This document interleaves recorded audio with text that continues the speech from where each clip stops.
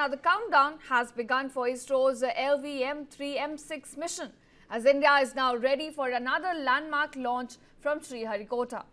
Now, viewers, at the LVM-3M6 rocket is set to launch today at about 8.54 a.m. this morning from the second launch pad at the Satish Dhawan Space Center.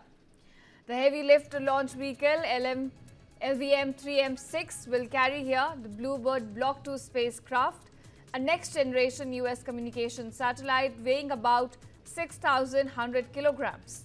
Now, this makes it the heaviest payload ever launched by ISRO into the lower Earth orbit using the LVM-3 rocket. In fact, the previous record here was held by LVM-3M5 communication satellite O3, which weighed around 4,400 kilograms and was successfully launched on November 2nd.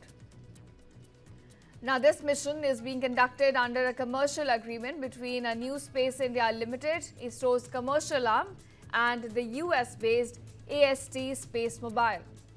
The historic mission here aims to deploy a next-generation satellite which is designed to provide high-speed cellular broadband connectivity directly to smartphones across the globe.